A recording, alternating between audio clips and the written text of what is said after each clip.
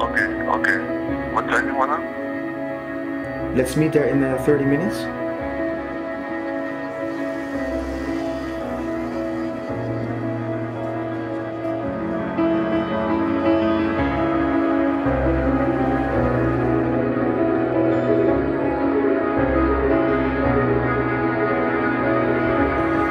Well, I spent three months.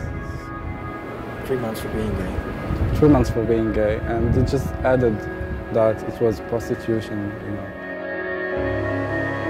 I, I didn't accept. I told myself, I, I can't be that, and I, and the more I can't be that in Morocco. You know. This, this is very, uh, very, very, very dangerous for me, very uh, difficult. Yeah, there's, uh, the police is not doing anything, but they're watching all the time. But, but nobody said something to us uh, so far, but uh, let's uh, keep the fingers crossed. My faith is something, you know, that belongs to me, and nobody has the right to tell me that I'm a good Muslim or not.